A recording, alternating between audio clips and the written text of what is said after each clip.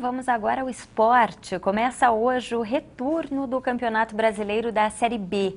O Guarani entra em campo daqui a pouco com uma meta ousada para buscar o acesso no fim do ano. Boa noite. O Guarani recebe hoje o Paraná às sete e meia da noite. Mesmo com dois desfalques importantes no ataque, o técnico Vadão acredita que o time pode alcançar a terceira vitória seguida na Série B do Campeonato Brasileiro, para se aproximar dos dez primeiros colocados da competição.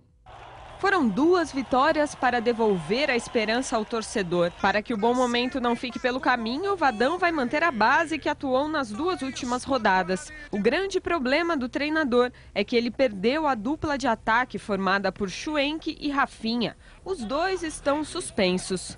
Nós temos três atacantes relacionados. Nós temos o Ronaldo, temos o Júnior Negrão e o Adelino. Desses três atacantes, dois jogarão. Um deles já está confirmado que é o Júnior.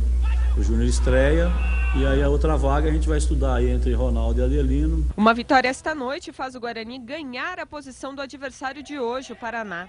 Mais do que chegar ao 11º lugar, a terceira vitória consecutiva do Bugre, aliada a uma combinação de resultados, deixaria a equipe a sete pontos do tão sonhado G4.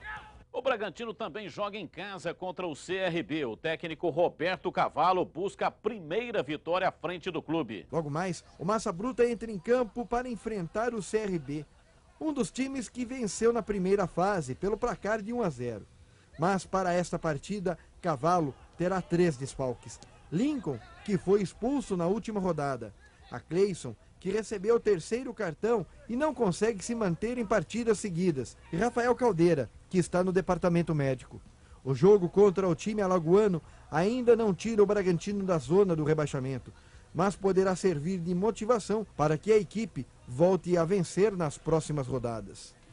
E estas foram as informações de hoje. Tem mais esporte aqui na tela da Band amanhã, meio-dia e meia, no Jogo Aberto Regional.